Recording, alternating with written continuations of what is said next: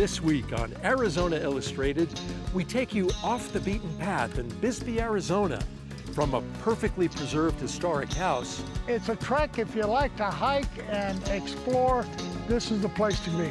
To a library that is evolving to meet the changing needs of this community. We don't shush people anymore. We foster conversation, we foster interaction. The future plans of this historic Buffalo Soldier military base. If this can become a center for education of kids and grown-ups alike, that would be absolutely phenomenal. And Arizona's first microbrewing is still serving up classic beers. You know, the beers that we make here are primarily English ales. We don't make sour beers. It's not because I can't do that, it's because I don't want to.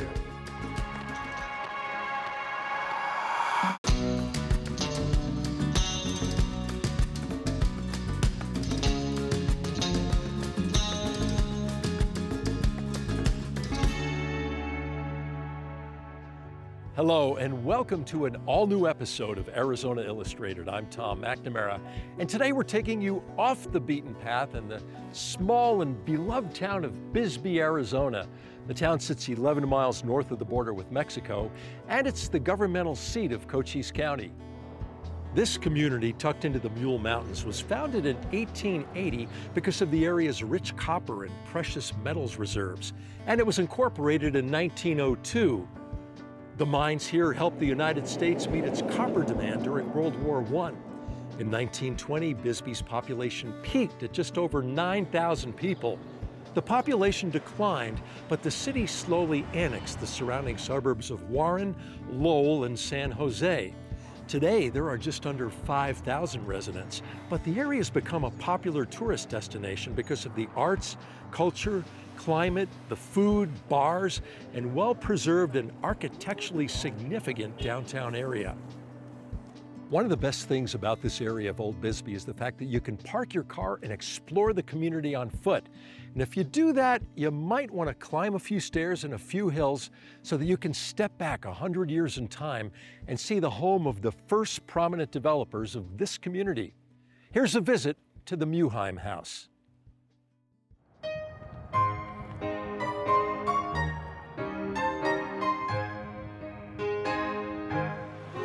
My name is Mike Frosco. I was born and raised here in Bisbee and went to ASU and got a degree in teaching. Came back, thought I'd leave after three years. Well, that didn't happen. I ended up in the system for 55. Married my wife, and she became interested in this home. My wife is in charge of the, the Muheim house, and that's the way I got started with this. I fell in love with this house about 15 years ago, and I'm in charge of what they call the docents. I'm your host today. The house was owned by uh, Joseph and Carmelita LaFour uh, Muheim. They married in 1890. They had the house built took 15 years. And the reason for that was uh, they had uh, the contractor they had, he was uh, he liked to drink his, his beer and he'd get paid, not come back for a while. 1915 was when the house was finally finished. It started with three rooms. What you'll see is uh, a lot of furniture and pictures, whatever that might be, that have been donated by uh, friends of uh, the Muheims or of the museum, and uh, this is the way we got some of the furniture. When you go into the dining room, you will see a complete set of china from the family. Uh, you'll also see a few other things, and maybe after a while, we can see one of the amazing features that uh, uh, is uh, unique to the area you just don't see anymore.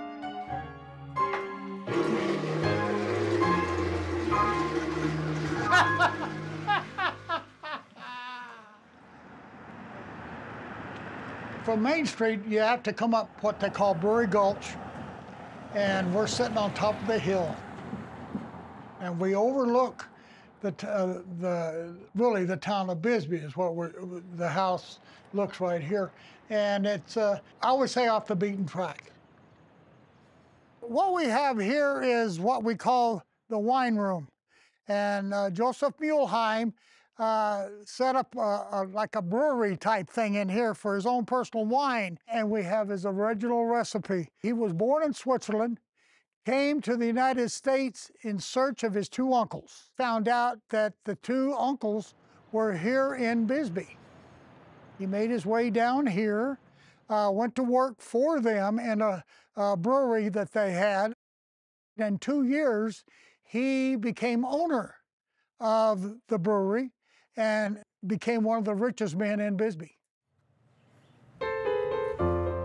Here we are, you'll see a house sitting on top of a hill, and there's always an American flag flying. And you look up, you, oh man, there it is, and we have steps that you can come up, uh, and you can also come up what they call Youngblood Hill.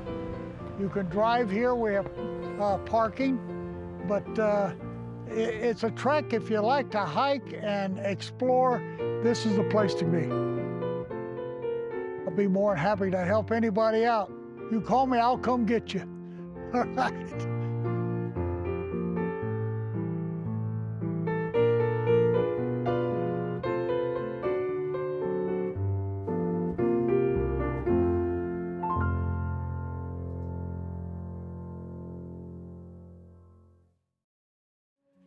With easy access to the internet, e-books, and digital media, it's easy to see how local libraries could become a thing of the past. But here in Bisbee, the Copper Queen Library has evolved to meet the needs of the community. Established in 1882, this is the oldest continuously operating library in Arizona. And among its accolades, well, back in 2019, it was named the best small library in the country by Library Journal magazine.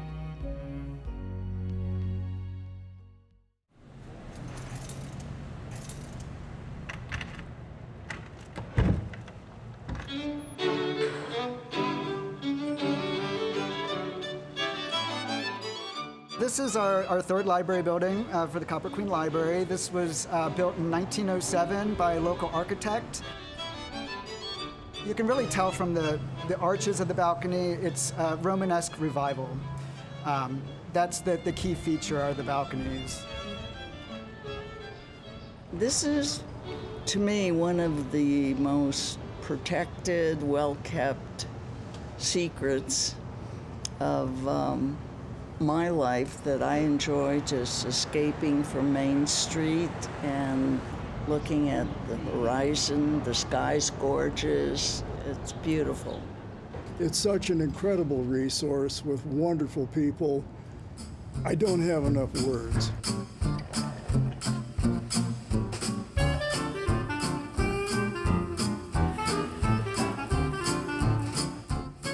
Funny story at the time that they built this library, there was a column in the paper um, that it was too modern. You know, Bisbee was changing too fast. And now we're so happy they did build it because, you know, we've got this beautiful building that, you know, we can operate the library out of. And it's, it's, uh, it's a local treasure.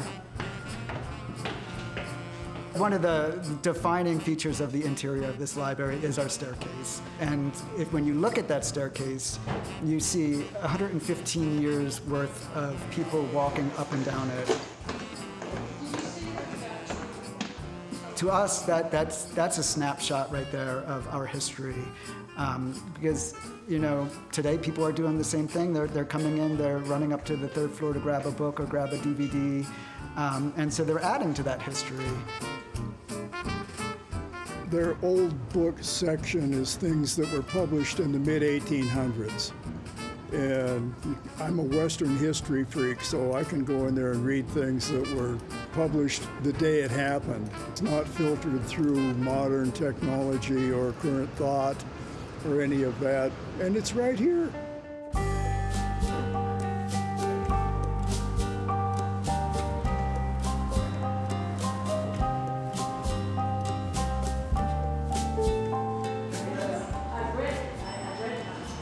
We are a small town, but we never let that inhibit us in terms of the way that we think as a library and the way that we approach offering services. The Copper Queen Seed Library, which we started uh, in 2017, offers free seeds for our patrons, and it's proved super popular. I, I would say we check out about 800 packs of seeds a year. As you can see, I have so many seeds from so many places. As soon as the library began to develop the seed program, I became involved in it right away. I'm a lifetime gardener and I save seeds, donate seeds to the library, etc. Libraries are more than books, not that books aren't the best, but um, to have a seed library is really just a genius thing and um, seeds are everything. They are, they're everything. Yeah, we're just looking at ways to really engage our community. I like to say instead of outside the box, outside of the book. We just installed a bicycle repair station over at our annex for neighborhood bicyclists to come in and pump their tire up. We've got uh, sports equipment to use in our city parks. We've got uh, bocce ball sets and pickleball sets. We're trying to really think beyond the old paradigm of libraries. This is the Copper Queen Library Annex, which is not a separate branch of the Copper Queen Library. It is what we call an off-site collection. We have things like a lawnmower, a shop vac, a 100-foot extension cord, because some, sometimes you just need that item once. When I first started here, uh, I think I was the one who was shushed by patrons, but um, we don't shush people anymore. We foster conversation, we foster interaction, we foster groups um, using the space, and really being more of a community center that's free and open to everyone.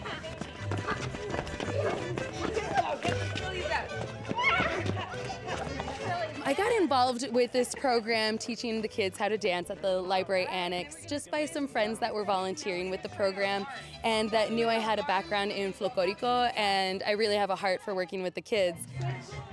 I've been taking my children here to the library since my firstborn son was about a year old and I started going to the preschool story time. And they want involvement for, the, for all ages of people from the moment you're born pretty much. They set you up with books and there's classes all the way teaching older people about technology or whatever it whatever it is. There's classes or something for everybody. Make sure you bend that knee so it goes out to the side. Being in our border community bisbee is a really artsy loving community. And so it's really nice to share some of our local culture with the kids and how to move their body. And um, yeah it's it gives them a whole new perspective very important to reach this community of Bisbee. This neighborhood, the San Jose neighborhood, is the farthest away geographically from the main library. And it doesn't have the same tourism aspect that Old Bisbee has, but it's also the neighborhood with the most children and families. The biggest resource in our community is our community our people are diverse, come from many different backgrounds of education and training. They volunteer for us. I should say our volunteers are amazing. So, what's your top two or three? Our job is to support them in every way we can. You know, we are a small town. And our city budget, as you can imagine, is not enormous. So the city pays the employees and maintains the building, but outside of that, um, it's up to us to bring in the income. So in the beginning of the year, we have a chocolate tasting in February, right around Valentine's Day, of course, and that's our biggest fundraiser. We've had as many as 700 people in this space that you're looking at right now. So the altered books show the concept of altered books is that you take discarded or recycled books and turn them into a piece of art. I'm a book fanatic. I went to libraries when I was a little girl, and that was my escape. there are 125 people in town who, have, who are, belong to the Friends of the Library. And if you talk to every single one of them, they would say something very similar. Yeah, it's very dear to me. It's the, my, my heart thing that I do in Bisbee.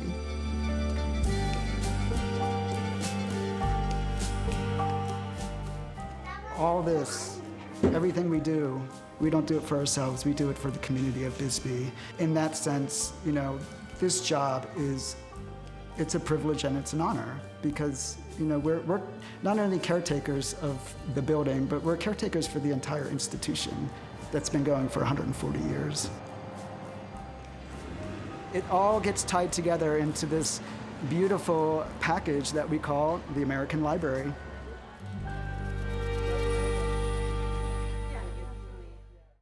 This is Warren, a community a few miles south of Old Bisbee, and this is the Warren Ballpark, built in 1909, which makes it almost five years older than Chicago's Wrigley Field. This ballpark has been a community center for over 100 years. Here to tell us more about the ballpark is a member of the board of Friends of Warren Ballpark and a longtime Bisbee resident, Dan Fry. Dan, thanks for joining us. Good to My see pleasure. you. My pleasure. In this colorful mosaic that makes up Bisbee history, where does this ballpark fit in? Well, it was like the second part of the city that came into existence in 1909. One of the mining companies, Calumet in Arizona, decided, decided to build this ballpark for the use of people who worked in town and to build single family homes all around to try to civilize the miners. And fast forward to today, this is still a beloved piece of real estate. This is the ballpark in this country that's been continuously operating for the longest period of time. And this is no mere museum. Baseball is still played here on, on several different levels. You bet. The Vintage Tournament every year, the first weekend in April, which I invite you to next year, um, happens here as well, where vintage baseball teams playing by 1860s rules. The high school plays all their baseball, all their football, all their soccer games in this ballpark. Recently, the town of Bisbee acquired another important historical landmark called Camp Naco. It was once uh, home to a Buffalo Soldier military base and was recently awarded millions of dollars for a restoration project to honor its past and make plans for its future.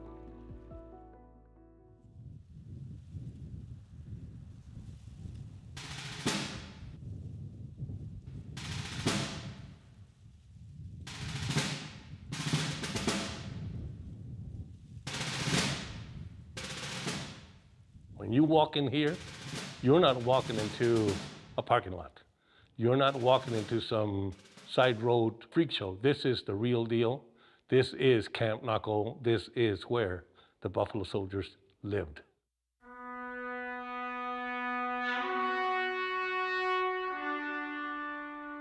They were separated from the rest of the folks because of their color, but they had a lot of guts.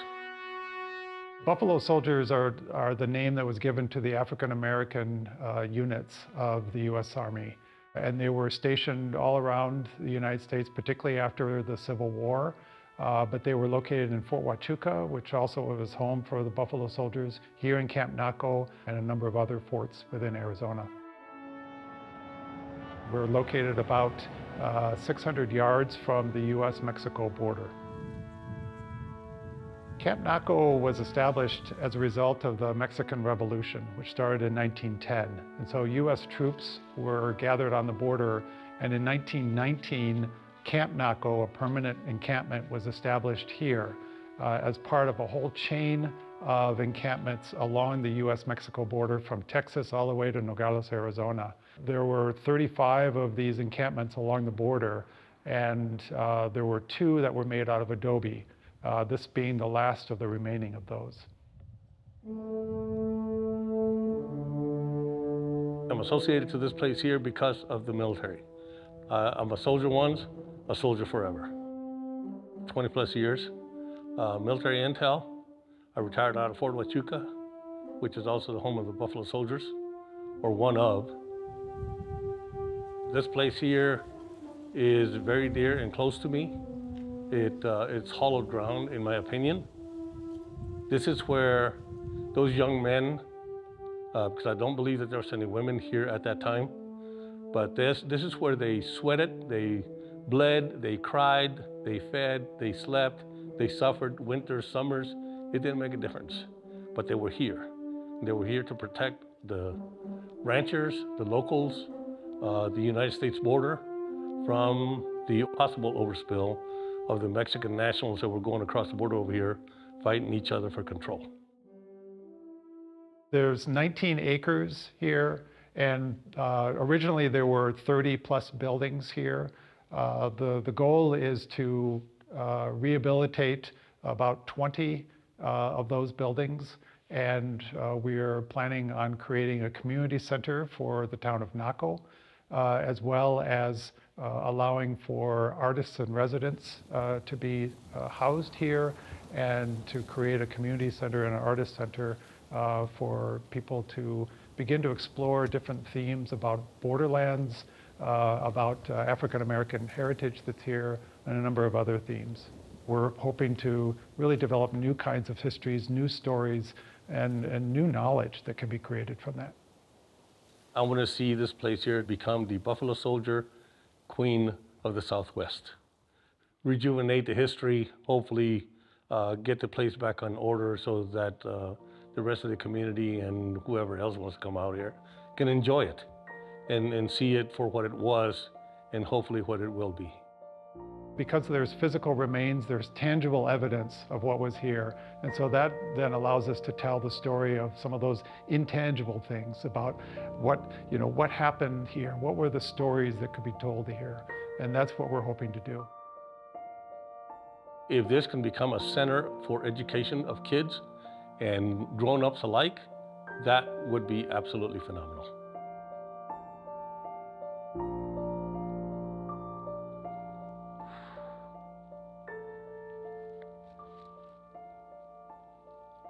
I have slept here. I have uh, been here at night and This place is absolutely peaceful. We owe it to them. It's, it's our job. Got to do this.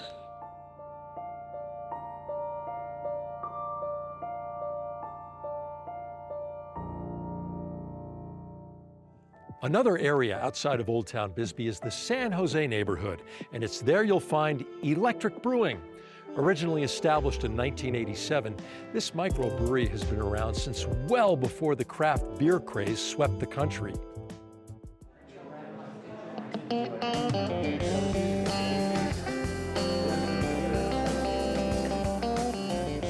My name is Joe Fredrickson, and I am the owner, brewer, head salesperson, distributor, everything.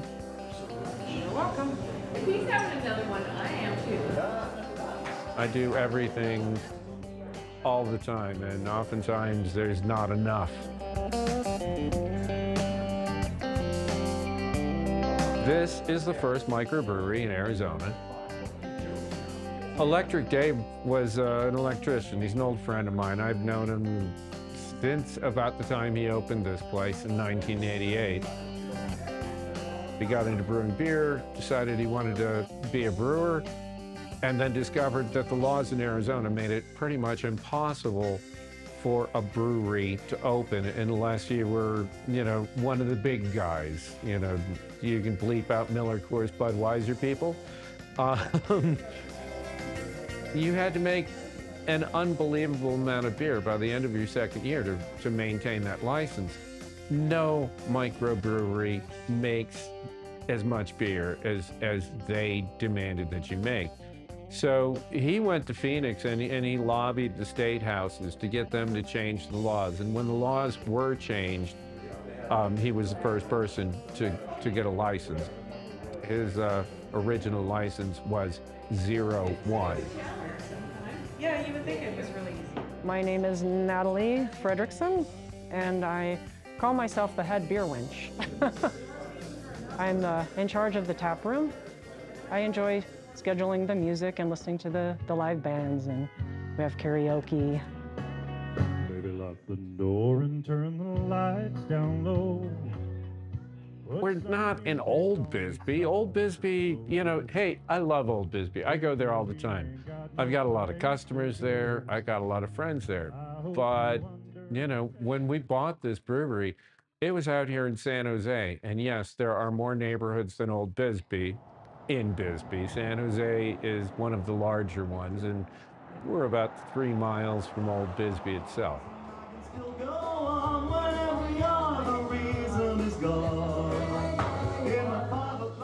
Part was built when the town was still uh, going strong. The mines were still open, and was, this uh, shopping center was built in 1953. They were building schools out here, and there was a grocery store there and a bank, and it was this was a real, you know, like a regular booming shopping center. You know, back in those days, it seems a little different now. We can see Mexico. it's a beautiful view all the way down there, and uh, we have the sunrise and the sunset. We have long long sunny days, plenty of parking, and no, no stairs. you know, the beers that we make here are primarily English ales, and they're traditional English ales. You know, we don't make sour beers. It's not because I can't do that, it's because I don't want to. I'm a traditionalist in so many ways, and when it comes to beer, beer is malt, hops, water, and yeast nothing else. You want a chocolate flavored beer? I will give you a stout that has chocolate flavors in it. But you know what? I won't put chocolate in it. We're trying to build up the business of selling kegs and bottles outside, but most of our uh, business comes from people actually coming into the tap room at this point. You asked a few minutes ago about how I got here. Well, I was brewing beer as a home brewer. I lived in the middle of nowhere and I had four day weekends. Um, found out about a beer contest here in Bisbee. I came down, I met Electric Dave among a lot of other people. And a couple years later, I took a job with Dave as, as his assistant brewer. Um, simple as that. And yeah, that's, that's where it all began. She's my baby, I'm her honey never gonna let her go. Thank you for joining us from here in beautiful Bisbee, Arizona. I'm Tom McNamara. We'll see you next week for another all new episode of Arizona Illustrated.